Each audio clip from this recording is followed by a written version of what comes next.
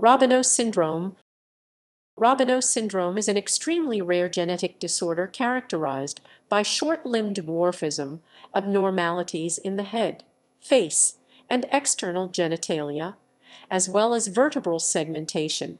The disorder was first described in 1969 by human geneticist Meinhard Robinow, along with physicians Frederic N. Silverman and Hugo D. Smith, in the American Journal of Diseases of Children.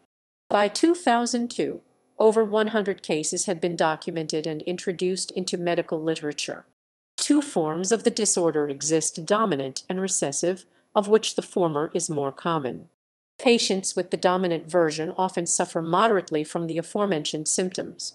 Recessive cases, on the other hand, are usually more physically marked and individuals may exhibit more skeletal abnormalities. The recessive form is particularly frequent in Turkey. However, this can likely be explained by a common ancestor, as these patients' families can be traced to a single town in eastern Turkey. Clusters of the autosomal recessive form have also been documented in Oman and Czechoslovakia. The syndrome is also known as Robinow-Silverman-Smith syndrome, Robinow dwarfism, fetal face, fetal face syndrome, fetal facies syndrome, acral dysostosis with facial and genital abnormalities, or mesomelic dwarfism small genitalia syndrome. The recessive form was previously known as Covesdem syndrome. Signs and symptoms Robinow noted the resemblance of affected patients' faces to that of a fetus, using the term fetal facies to describe the appearance of a small face and widely spaced eyes. Clinical features also may include a short, upturned nose, a prominent forehead, and a flat nasal bridge. The upper lip may be tented, exposing dental crowding, tongue tie, or gum hypertrophy. Though the eyes do not protrude, abnormalities in the lower eyelid may give that impression. Surgery may be necessary if the eyes cannot close fully. In addition, the ears may be set low on the head or have a deformed pinna. Patients suffer from dwarfism, short lower arms, small feet, and small hands. Fingers and toes may also be abnormally short and laterally or medially bent. The thumb may be displaced in some patients, notably in Turkey, experience ectrodactyly. All patients often suffer from vertebral segmentation abnormalities.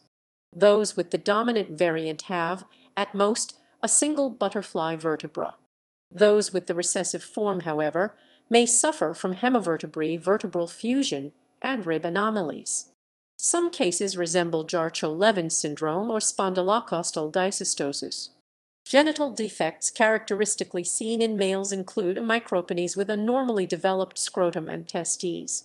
Sometimes testicles may be undescended, or the patient may suffer from hypospadias. Female genital defects may include a reduced size clitoris and underdeveloped labia minora. Infrequently, the labia majora may also be underdeveloped. Some research has shown that females may experience vaginal atresia or hematocolpos. The autosomal recessive form of the disorder tends to be much more severe. Examples of differences are summarized in the following table. Associated conditions Medical conditions include frequent ear infection, hearing loss, hypotonia, developmental problems, respiratory problems, eating difficulties, light sensitivity, and esophageal reflux. Data on fertility and the development of secondary sex characteristics is relatively sparse. It has been reported that both male and female patients have had children. Males who have reproduced have all had the autosomal dominant form of the disorder. The fertility of those with the recessive variant is unknown. Researchers have also reported abnormalities in the renal tract of affected patients. Hydronephrosis is a relatively common condition, and researchers have theorized that this may lead to urinary tract infections. In addition, a number of patients have suffered from cystic dysplasia of the kidney. A number of other conditions are often associated with Robinow syndrome.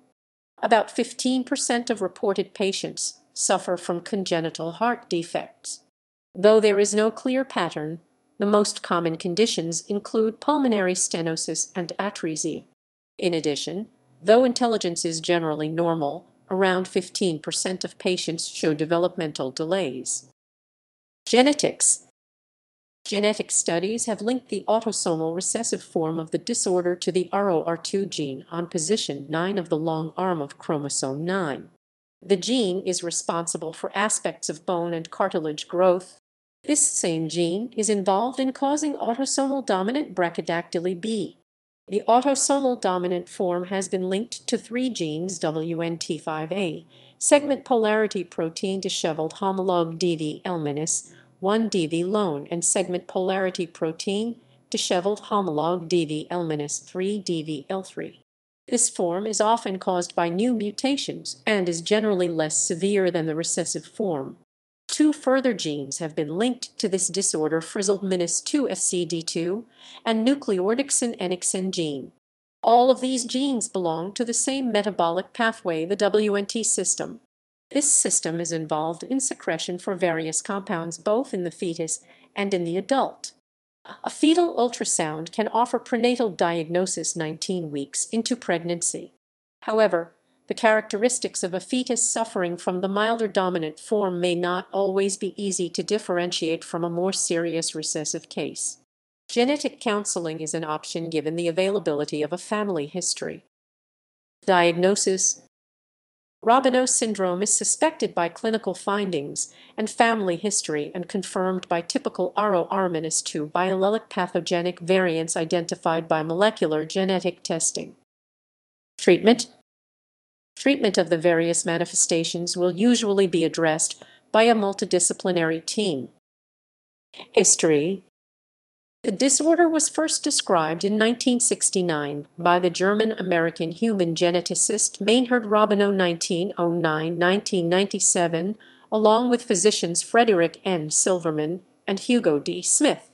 By 2002, over 100 cases had been documented and introduced into medical literature.